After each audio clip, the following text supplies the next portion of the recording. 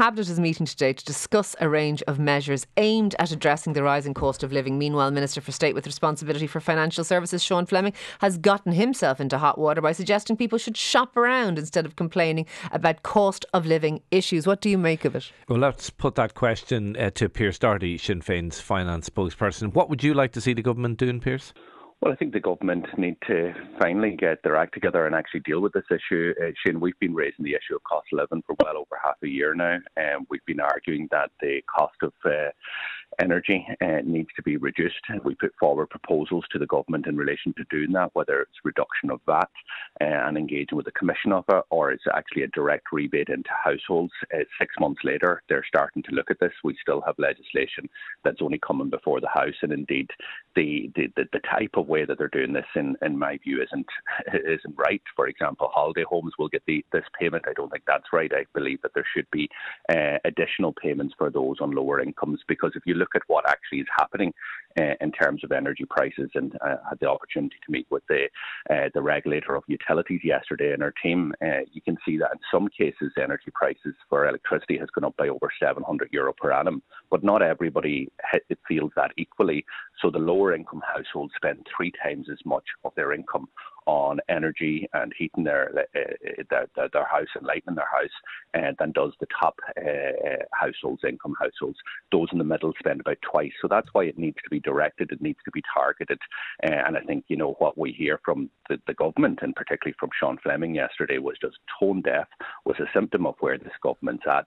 For six months, they buried their head in the sand. They're doing nothing about it. Now they're scrambling around trying to find out how to deal with this issue. So there is a way of dealing with it, having it targeted. Okay, uh, we, we get back to Sean Fleming in, in a second, Pearse. There's also other measures that are needed as well. We get back to Sean Fleming in, in, in a second, but you mentioned the, the cut in VAT.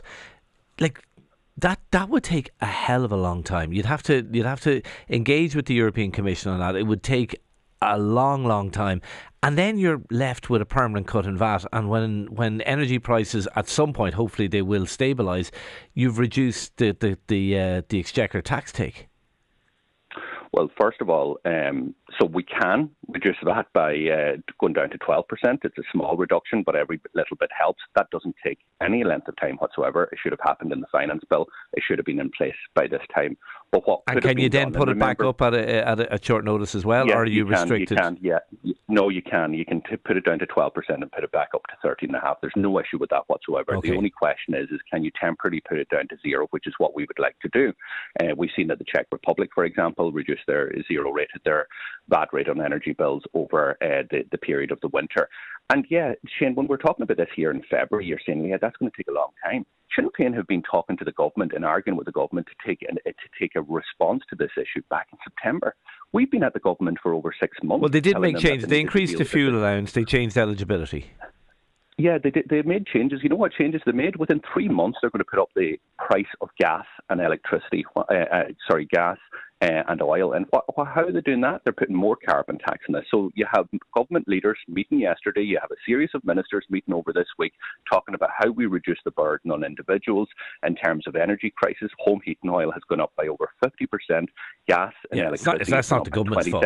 That's not the government's but, fault. No, but, no, but what the government what the government are doing on the first of May is they're going to increase those prices more by putting carbon tax on top of those prices. To, to save to help save the, to help to help save the planet. Well, look, uh, to tell you, I don't know many households that on the 1st of May are going to decide to consume less electricity, less gas because they're going to heat their homes. They're going to basically be more poor. And that's the reality. We need more alternatives before you introduce measures like this. So and to hell time, with climate change. At a time, at a time, no, not at all. Absolutely not at all. Let's make the investment that's needed in areas such as road, in terms of infrastructure, in terms of retrofitting. Let's look at the transition that is required. But if you're telling a household in Dublin or in Donegal that the government is planning to increase the price of gas, which you're using to, to heat your home, which has already gone up by about 700 euro for many households per annum, and this is going to save the planet, then you know people are saying no, that's not. That's going to make me poor, and especially if I'm on the lower incomes, then I don't have an alternative. I don't have thousands of euros sitting around in my house to actually change. But the they are also bringing in a retrofitting scheme, so it's it's kind of carrot and stick, and every expert, every expert bar none on climate change says carbon taxes are an essential tool. carbon, ta- uh, carbon taxes, like any behavioural taxes, can work when the alternatives are there. So retrofitting is exactly what we need to be here, and we need to be seeing ambitious investment. And we'll look at the plans that the government are going to announce when cabinet come in. But let me be clear: that's not happening today or tomorrow. The plans are there, there'll be an announcement, but this is going to take a while to bed in. The problem is that energy costs are rising right here, right now. The problem is, is that families are falling into poverty right here, right now. Okay. The problem is the government still plans to increase the cost of, of, of, of gas uh, and oil coming up uh, in May. They plan to increase the cost of petrol and diesel then again in September and again in October that isn't the right response when we're talking about the cost of living. But there are other things they can do. We've been talking to them about rents for the last five years, uh, telling them that they needed to freeze rents, but more important, put money back into renters' pockets, the equivalent of one month.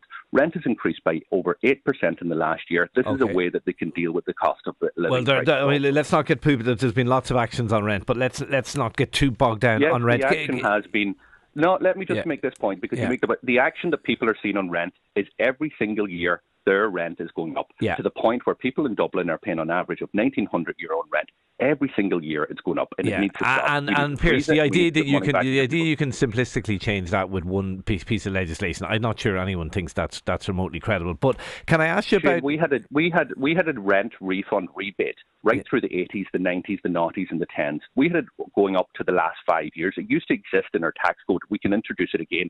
What okay. we have in this government is a lack of ambition and a government that's out of touch, and therefore. All right. You mentioned Sean. Fla- you mentioned Sean Fleming, and you said he was he was out of touch. Do you think people should? Is it worth shopping around? Is it is it worth um, like for particularly for energy uh, costs? Was he wrong to say that?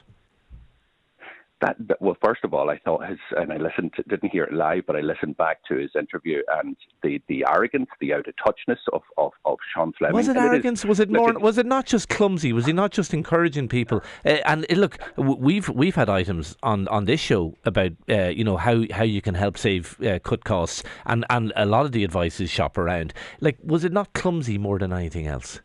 Well, first of all, look at the people who are impacted as a result of the cost of living crisis. Many of those issues that are under the control of the government, as I mentioned, for example, rents, they know how to budget their house as best as they can. To have Sean Fleming, who sits on 140,000 euro plus, lecture them, do, do, do as I do, and, and, and telling them to stop complaining about the government's inaction yeah, he, he's issued a statement saying he's issued a statement saying that wasn't his intention, and he apologised well, for that. He didn't intend he was, to imply was, people shouldn't shouldn't complain. But can I ask you again? Like, should people shop was, around? Can I just make this point? He was making this. He he was given ample opportunity to clarify, and he didn't. He actually well, he, he, he sort he he, he, he did kind of clar- he did actually c- kind of clarify, saying I'm, I'm talking about the opposition the complaining. But sorry, can I no? Can I? Well, could you answer all, the question I asked you? Should should people shop around? Uh, look, well, I'll give you an example. In, in terms of insurance, we've always encouraged people to, to shop around. But let me make this point. Yeah, but that's all There's he did. legislation. No, there's a piece of legislation before the Dáil over seven months ago that would impose an obligation on insurance companies, the same that exists in Britain, to pass on the reductions and awards to their consumers. Sean Fleming, every single member of Fianna Fáil, Fine Gael and the Greens are blocking that legislation. So Sean Fleming goes on yeah. RTÉ radio on our national airwaves. It, that hasn't worked in the UK, by the way. Government. That hasn't worked in the UK. Actually, that's not true. That's not true because th- th- this is about the awards that's, that's uh, that was introduced in terms of the reduction of whiplash. They have to report to the central bank, uh, the FCA, every year how those uh, awards are being passed on to consumers. Uh, that legislation has taken effect and that reporting series will start to begin. Okay. Uh, so the, the point here is we haven't done that. We have legislation that's supported okay. by the Alliance of Insurance But, but can, can I come back to Sean Fleming's uh, uh, central point about shopping around? What's wrong with actually asking people to shop around or advising people to shop around? Like, like have you have you looked at your own electricity? Would you uh, have you changed your electricity supplier? Shane, there is nothing wrong with anybody encouraging anybody to shop around. Indeed, when I met with the regulators utility yesterday, one of the things we were talking about is their campaign to in, in terms of consumer protection. But that isn't what Sean Fleming did. Sean Fleming went on national radio. A government that's supposed to take action. For example, those who are in social welfare, they need a, social, a core social welfare payment increase of five euro to keep with the cost of inflation. That needs a government response. Rents need to be frozen and money put back in people's pockets. That needs a government response. There are things outside of the okay. control of, of the people. There are things inside the control of the government. And Sean Fleming and Cabinet has done nothing about this for the All last right, six Pearse. months. And they shouldn't be pontificating. They are bringing they are bringing a suite of measures uh, this week. And, and and look, no doubt you will have uh, plenty to say about that when, when it does happen. But thank you indeed for talking to us this morning, Pearse Doherty, Sinn Féin finance spokesperson.